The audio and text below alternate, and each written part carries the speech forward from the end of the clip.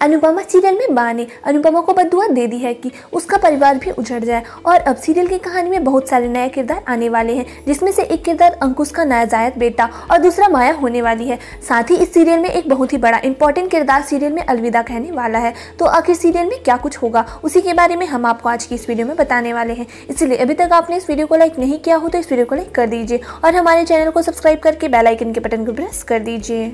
आप सीरियल में देख ही रहे होंगे कि कहानी को इंटरेस्टिंग बनाने के लिए मेकर्स नए नए ट्विस्ट लेकर आ रहे हैं और मेकर्स ऐसा इसलिए कर रहे हैं क्योंकि सीरियल की टीआरपी रेटिंग बीच में नीचे चली गई थी और ऐसे में अब इन सारी चीज़ों को देखकर एक खबर काफ़ी ज़्यादा फैल रही है, जिसमें बताया जा रहा है कि नए किरदार तो सीरियल में आएँगे, लेकिन सीरियल का अहम किरदार अनुज नहीं होगा। लेकिन हम आपको बता दें, सीरियल में आपको अनुज का किरदार हमेशा ही देखने को मिलेगा। कभी भी अनुज का किरदार अलविदा नहीं कहने वाला है। लेकिन सीरियल में अब आपको बरखा और अंकुश का किरदार आगे चलकर नहीं देखने को मिलेगा और उसके राजायज बेटे को अनुज पालता नज़र आएगा। ऐसे में आप सीरियल में नए किरदारों को देखना चाहते हैं या नहीं? कमेंट में आप हमें ज़रूर बताएँ।